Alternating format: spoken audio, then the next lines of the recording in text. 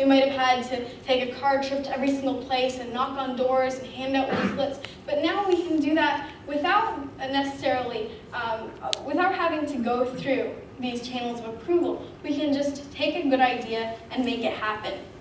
You might think that kids with our famously low attention spans wouldn't enjoy hearing talks about serious issues like education and the environment.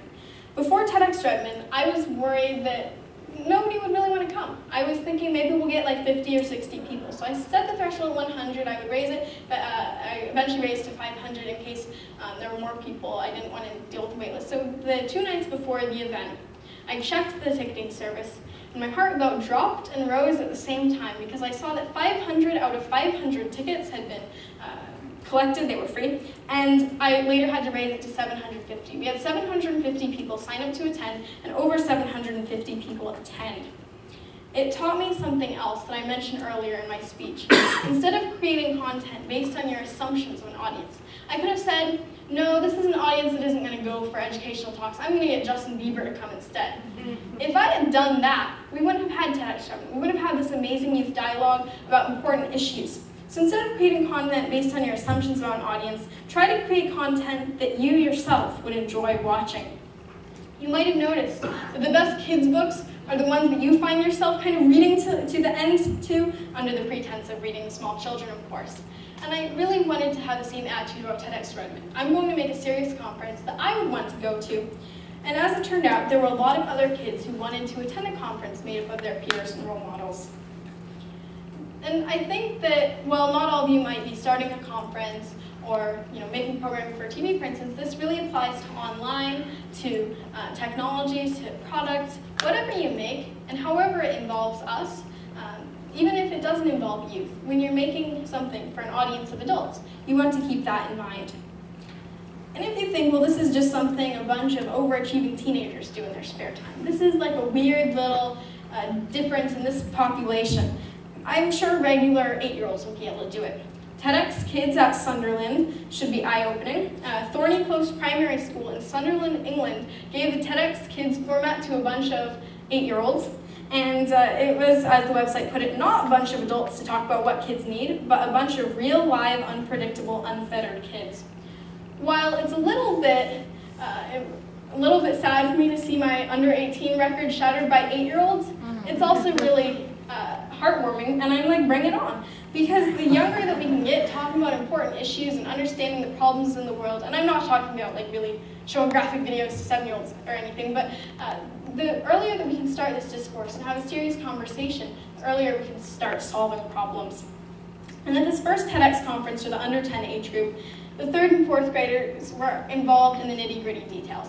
They were calling up sponsors, they were asking for uh, the license, applying for the license, they were calling up to book the venue. And I mean, imagine being the person managing the venue. Hi, my name is so-and-so, calling from TEDx Kids of Sunderland. Like I mentioned with the examples of the technologically in-touch toddlers, these kids have an unfair advantage called going through childhood in the 21st century.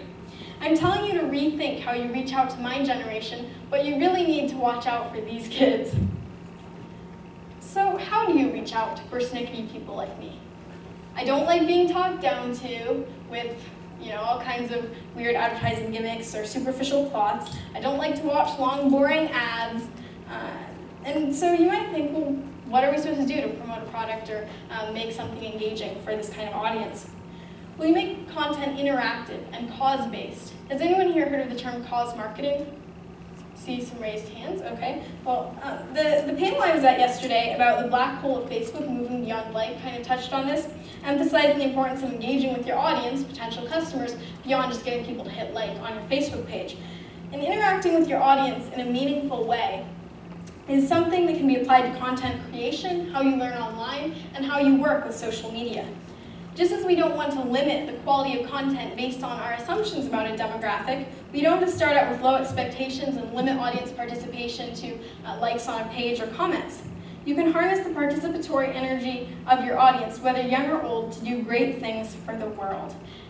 And so many companies have been expanding on this. You see companies that are trying to you know, do sustainable coffee, and I'll be talking more about that. But um, I want to quickly switch tack here. I know that going from great things for the world the Vancouver riots is a bit bad of a transition. But did anyone here watch the game on TV or anywhere? I'm seeing some raised hands, and a lot of hockey fans here. We probably also heard about the aftermath, which makes it sound like a natural disaster. But I don't know about you. I live about three hours from BC. I live near Seattle, so we drive up to Vancouver sometimes. And these are not the images I usually think of. My hypothesis is that Canadians have spent way too much time being better than Americans in certain aspects and just had to let it out. uh, but some much needed redemption for Vancouver came in the form of social media. Did any of you see this event, uh, Post Riot Cleanup Let's Help Vancouver on Facebook? I see some raised hands. But you'll also be proud to see that 20,644 people signed up to attend, and that was just when I took the snapshot earlier this afternoon. And today, the upstanding citizens of Vancouver were busy at work, showing you what the real people of Vancouver look like. You see how simple tools, we don't have to go and build something or be really complicated with technology here. We're just using existing tools like Facebook to do great things.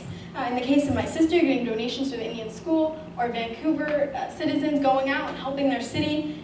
The perfect union between content creation and marketing and my generation that doesn't talk down, that doesn't force us to sit through long, boring ads, I think can come through something like this. Solving social issues with engaging multi-platform outreach. When I was last in Toronto, I uh, got to be on the CBC's George Stroumboulopoulos Tonight, and on the show I discussed the United Nations World Food Programme's Free Rice Initiative, which is uh, basically for each answer you get right on various questions around different things, you donate 10 grains of rice to the World Food Program to help end hunger. You don't have to pay anything, it's all through sponsors.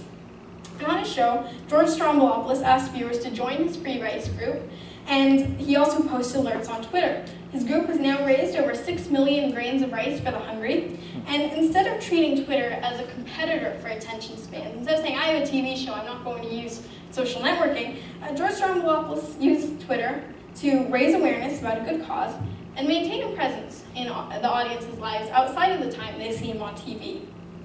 So you see how something that we've been talking about, you know, nobody watches television anymore, it's going downhill. People who are uh, working through mediums that might not seem any popular anymore are maintaining popularity by out, reaching out on many different levels, not just on TV, but also on Twitter, on Facebook, through causes. Fittingly, since Pepsi has a presence at North by Northeast, uh, I've been impressed with what Pepsi has been able to do with the Refresh Project. Has anyone heard of Pepsi, the Refresh Project? I'm seeing some raised hands. Well, um, by the way, I'm not being paid by Pepsi. I would love to be paid by Pepsi, but I'm not being paid by Pepsi, even though I just said their name three times. Giving grants to good ideas in areas like education, community, and the arts, Pepsi supports all these programs uh, with, uh, well, with financial aid, with the publicity from the website, and I know they'll swear it was out of the goodness of their heart, and I'm sure I believe them, but you also have to agree that cause marketing, or supporting causes with your brand behind it, is pretty good marketing. It's caught on from Starbucks trying to sell sustainable coffee. You'll probably see that they're always talking about like, you know, this came from Ghana, or this came from South America, or saying where it's from, and it's sustainable. Uh, Tom's Shoes promotes a buy one, give one shoe program. There are all these examples of cause marketing, and a lot of people have also been involved in social entrepreneurship, where they actually start the company and sell the goods with the sheer purpose of trying to do good. But for those uh, profit-based businesses, I don't mind advertising if we can make the world a better place in the process. And that's what I see happening on a bigger and bigger level. Cause marketing has gone really more mainstream now if you see with the environmental products and things that are sustainable. And as far as getting a positive image for your brand, I'll say this. It sure beats, um, I was going down an image, actually I'm grateful I don't. It sure beats Abercrombie and Fitch's naked torsos on the back. I don't know how anyone thought that was a good image ultimately it just isn't the world of children should be seen and not heard anymore. That's very Victorian, and yet it's the attitude that I see a lot of companies having. Whether it's television programming that doesn't reflect real uh, teenage culture and ideas, or if it's clothing that's overly expensive and not produced in a sustainable way, or even um, like drink companies that aren't doing a, project to give out to the community. Um, we really are a big section of who consumes content. We watch videos, we buy clothing, um, and tune into programming. And we're not just media consumers, we're creators. A bunch of the YouTube comedians that I showed were in their 20s or even their teens. With new technologies in the form of social media and mobile advancement, we're making our voices heard on a multitude of channels. You'll go to websites and they'll be highlighting youth who have started charities, who have been involved in sports, who are doing nonprofit and business work. If there's one thing you walk away with, I hope it's this, that my peers and me were more than rolled eyes, hoodies, and earphones. With the internet, our phones, and our tablets, we're actively customizing our viewing experience, creating and sharing content, learning online, starting movements, and speaking up. The ways that you reach out to us show what you think of my generation. And it's the way we respond that shows what we think of you. Thank you.